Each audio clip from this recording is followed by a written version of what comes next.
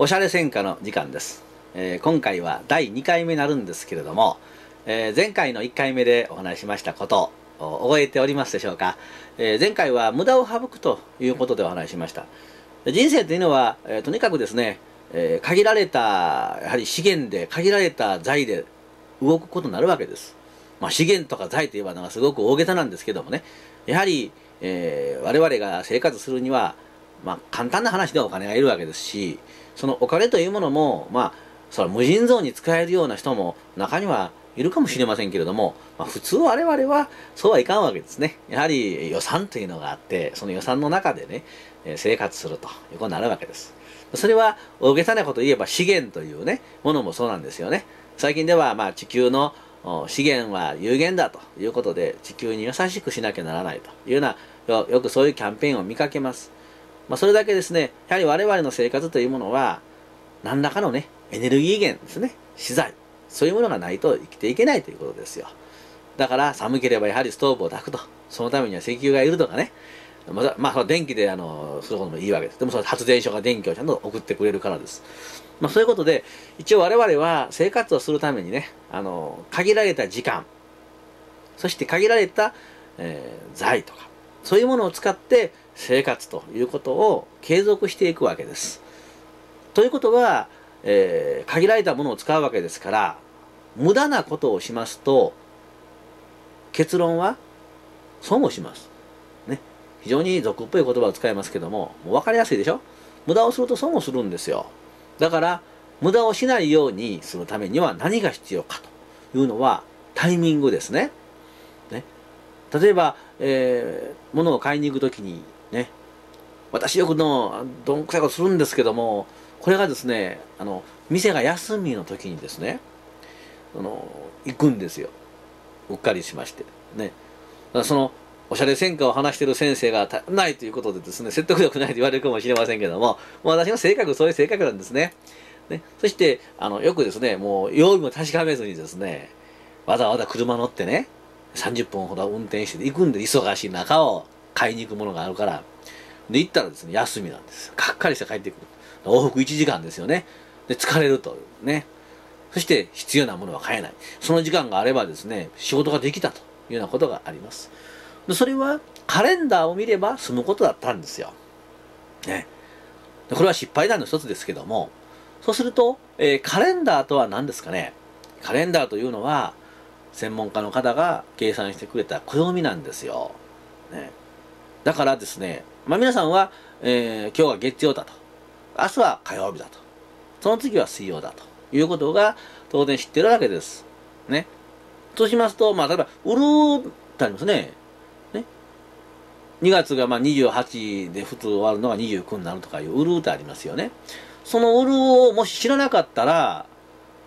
どうなります ?29 日の存在を知らなかったら、29日のことを3月の1日と勘違いして生活するわけですよ。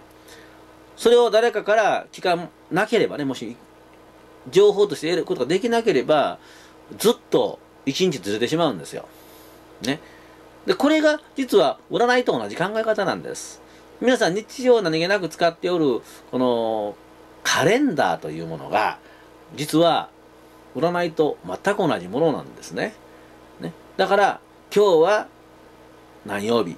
ということはいついつは何曜日というふうに計算できるわけです。だから、えー人と会う時でも品物を買いに行く時でも例えば、えー水曜日が休みの店には水曜日には行ってはいかんわけです。ね、だから水曜日が休みの店があるとあれば水曜日以外に行くということを知識として持っておってそれを実行するために間違わないようにするのがカレンダーという暦いわゆる道具なんですねだから、えー皆さんですねあのおしゃれが今回テーマですからねおしゃれに生きていくために無駄を省くとその時にですねえー必要なものを買いに行ってね休みだったらこれはおしゃれじゃないですよまさにシャレにならんという話なんですね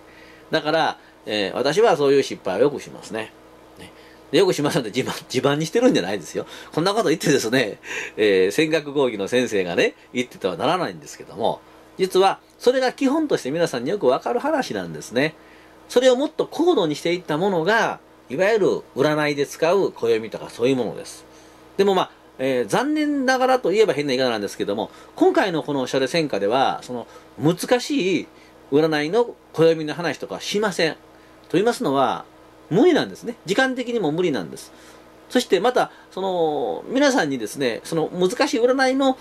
学問を知ってもらおうというのが今回の目的ではないんです。皆さんに、えー、まあ私なりにですね、私は戦学を専門として戦学をやりましたから、その知っておる専門家が、皆さんの日常生活に対するアドバイスとしてね、皆さんが普段、えー、まあ、考えない思考パターンを教えて、ちょっとしたその起点を聞いた生き方をして、そして、えー、今までにないおしゃれな人生を歩んでもらおうというのが、えー、今回の企画なんです。だから、えーまあ、講義というようなことではなくて、えー、今回はですね、例えば、え、第2回目ですけども、今回は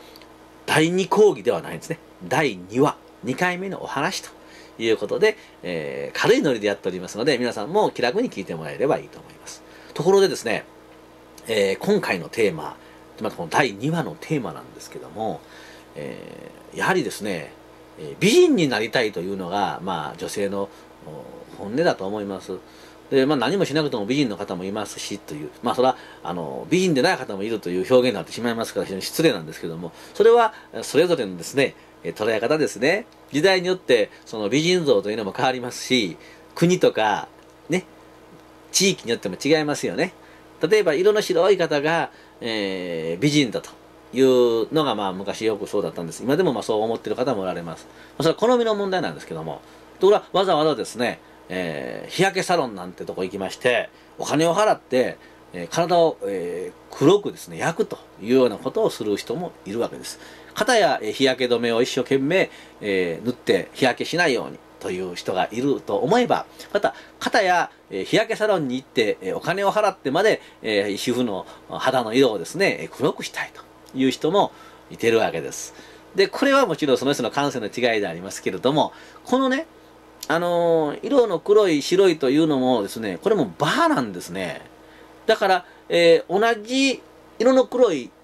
場合、色の白い場合、どっちもですね、それに合った服装っていうのがあると思うんですよ。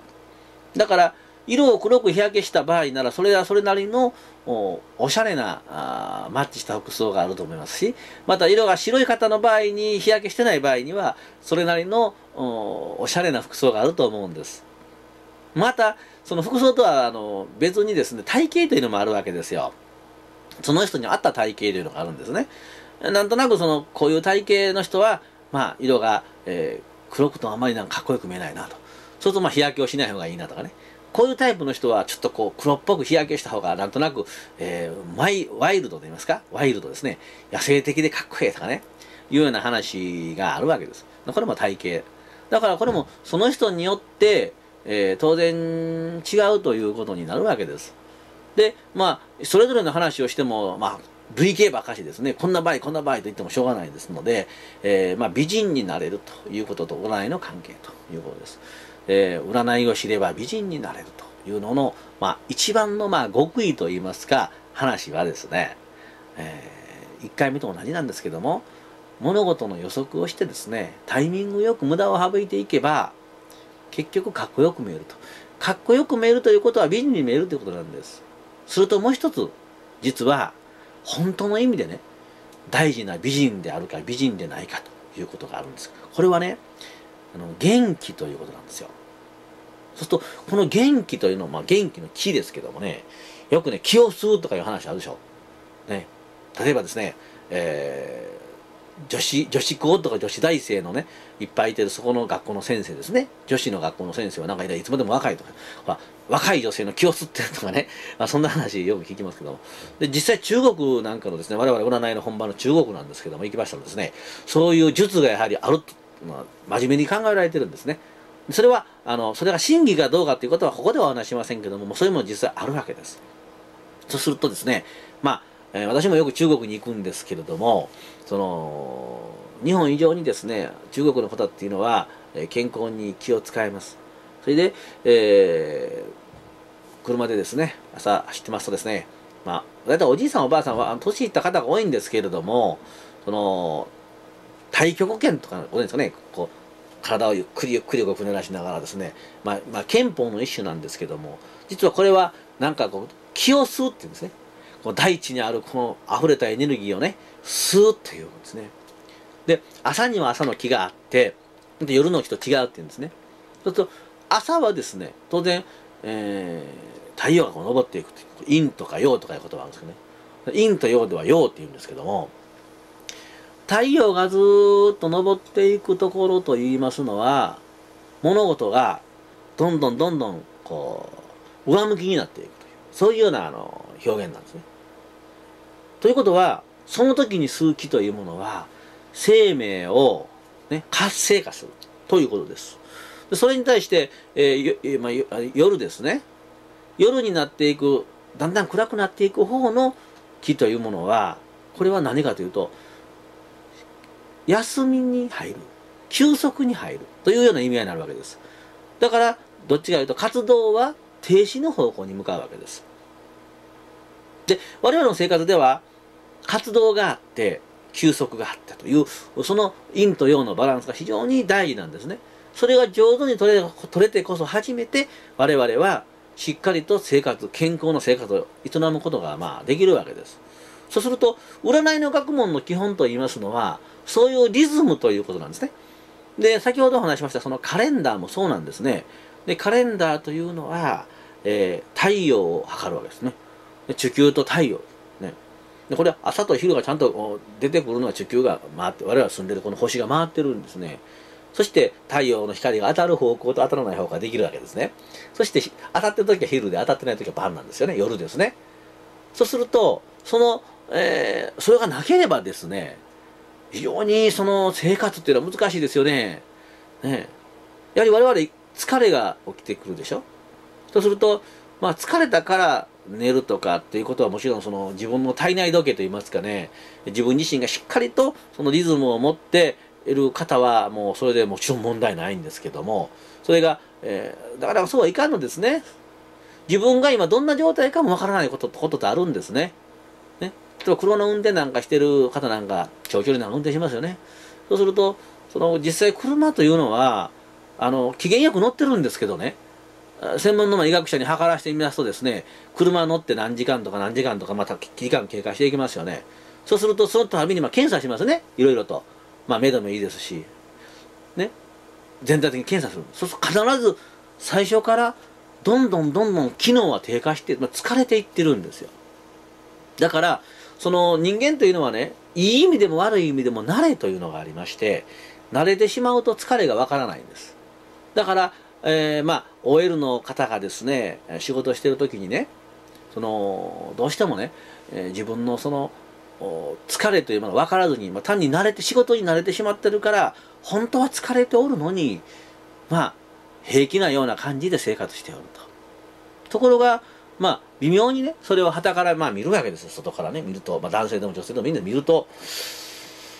どうも何々さんでもこの頃疲れてるなとかねいうのはね分かるんですね。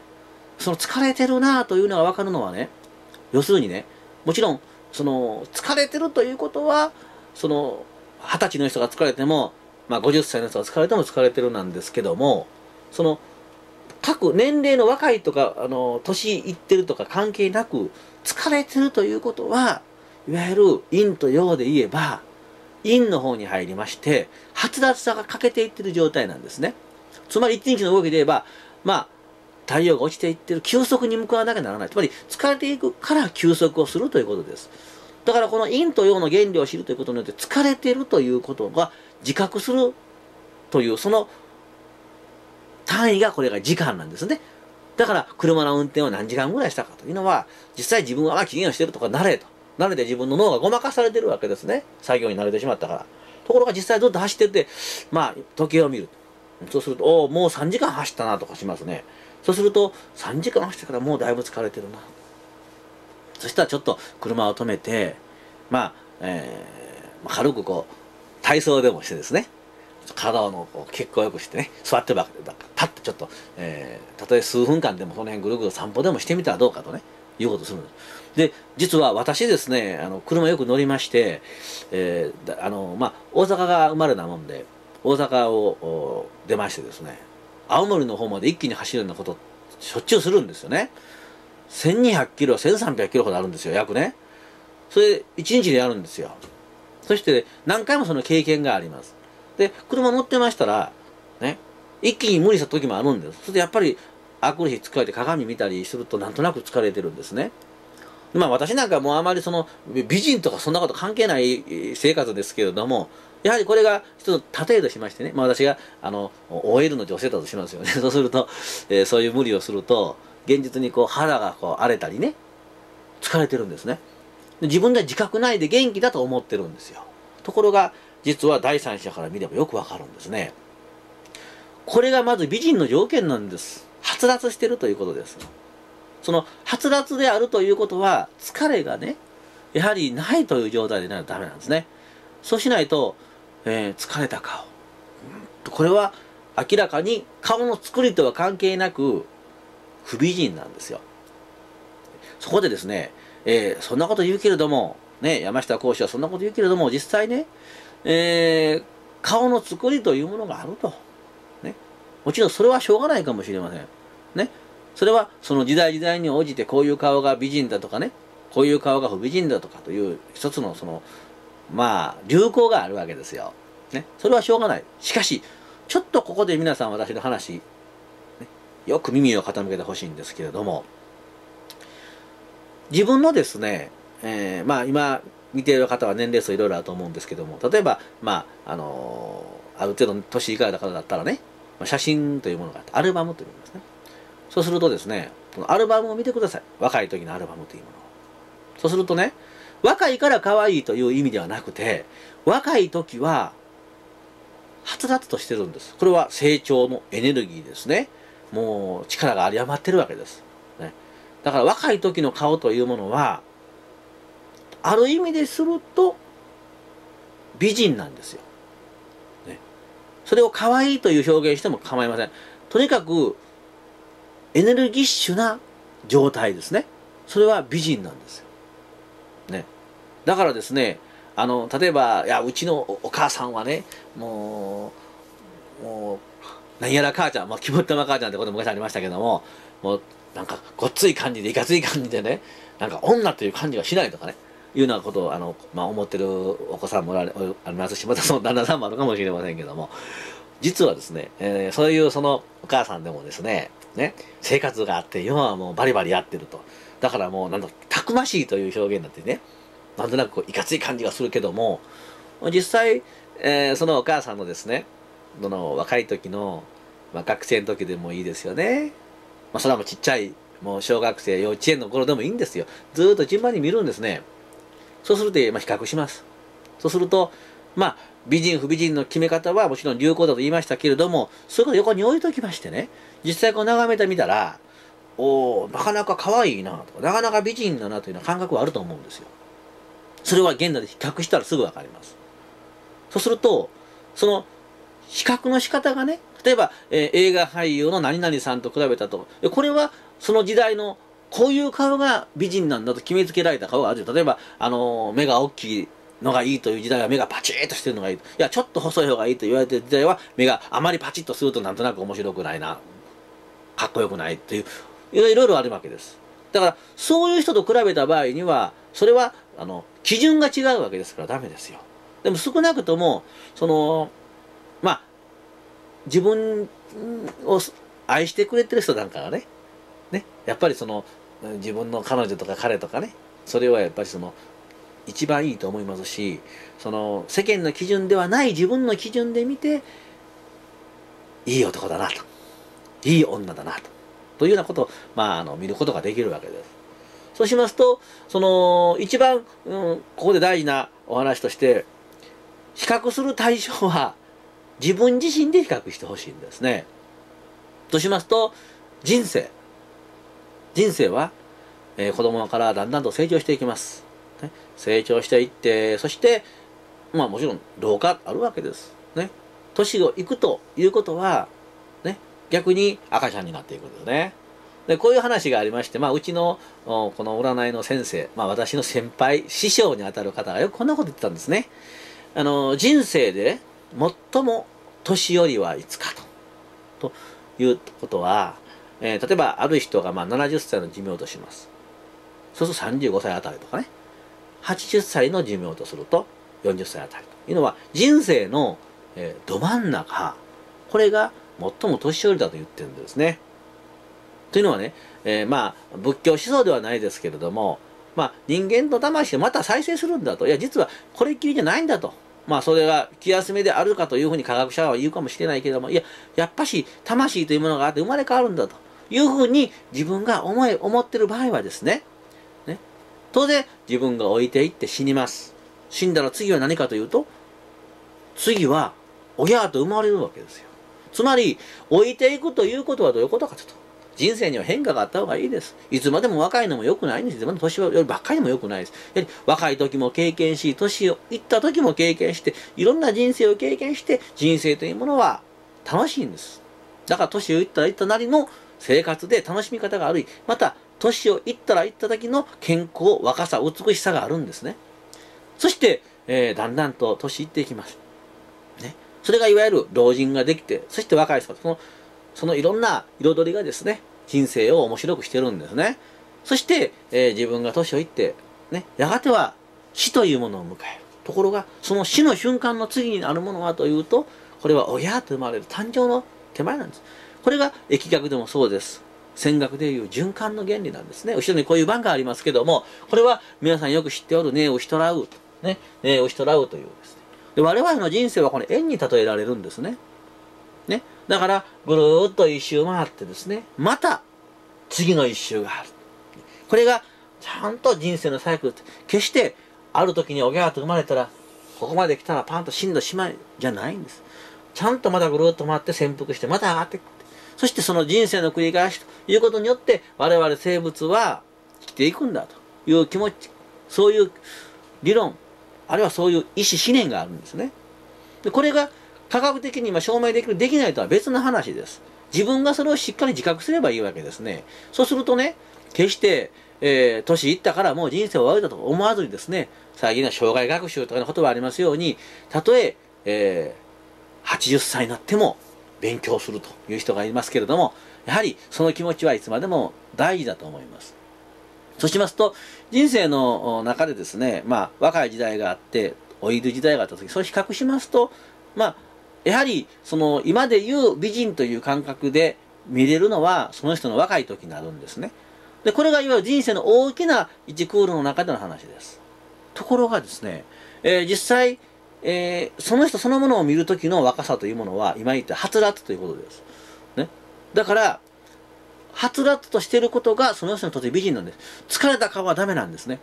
そのリズムを知るということが、まあ大きな意味では、えー、カレンダーなんですけども、ね、実は、えー、一日のサイクルの中で午前中午後の期というようなことが非常に大事ですだからですねやはりあの仕事でどうしても夜勤昼は寝てて夜起きてるという仕事をしなきゃならない人はやはりそれなりに無理がありますでもそれは仕事だからしょうがないとでももし自分が幸いにしてですね、えー、昼起きておって夜寝るという仕事のを続けてられる方、そういう生活パターンができる方はですね、朝起きてですね、その午前中の気をしっかりするということです。これが実は占いを知ることなんです。占いの学問を知るということは、この日常生活の中でいいリズムを覚えるということです。ということは、朝起きましたらすぐにパンをかじってですね、服を着て走るというんじゃなくてですね、ちょっと一呼吸を置いて、できれば土のあるところであれば、裸足になって立ち立って、えー、深呼吸をして大地の気を吸うと。というようなあのことがもし、まあ、最近では難しいんです。もちろんコンクリートでも結構ですけども、とにかく朝起きたらですね、とにかく一度、この今はね、はつらつとした容器なんだということを心のまず自覚して、そしてその空気をですね、と思いっきりですね、ゆっくり吸って深呼吸をして、そして心にゆとり、余裕を持たして、そして物事を考えていく、一日を歩んでいくというようにしないと、どうしてもですね、えー、皆さんがですね、えー、新しい生活の中でですね、ただ、もう、時間の流れというものか、自分の行動の、その、連続体だけに押されて流されて生活しているということは、当然疲れだけがどんどん溜まっていくということです。だからそれは、皆さんは不美人になっていってることなんですよ。わかりますね。だから、皆さんが美人に生活するということは、自分のしょうがない時間の流れ、物の流れ以外にですね、いわゆる大きな太陽があって地球があってと。ね、我々はこうしてこの宇宙に生活してるんだという広いものの視野に立ってものを見ること。その大自然の息遣いが暦。こんな暦なんです。こんなことが難しい字がありますけども、今は皆さん知ってるカレンダーなんかがそれなんですね。そして少なくとも時計がそうですよ。朝。ね。そして朝起きれば朝の時間の気を吸うということでですね、しっかりと落ち着いて、ほんの1分間で結構です。ね。朝の容器をする。これが占いを知ることです。朝という時間の意味を知ることです。そして、えー、自分自身がですね、えー、朝に蓄えたその英気ですね。夜寝て疲れを取って朝蓄えたその影響を持って一日の生活をしていくと。そうすると、その一日の生活の疲れというものも夜になればなりますけれども、外部から見たらある程度、はつらつとしておって、かっこよく、つまり、えー、美人に見えるということです。で、これからまだまだいろんな原理がありますけれども、えー、今回、えー、暦ということを知りました。また次に新しいお話を、えー、しますので、皆さんの生活がとにかくおしゃれでありますように。ということで、え、今回の講義、ここまでにいたします。